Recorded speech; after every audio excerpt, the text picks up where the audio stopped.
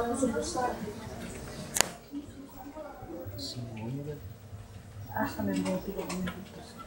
Kami kan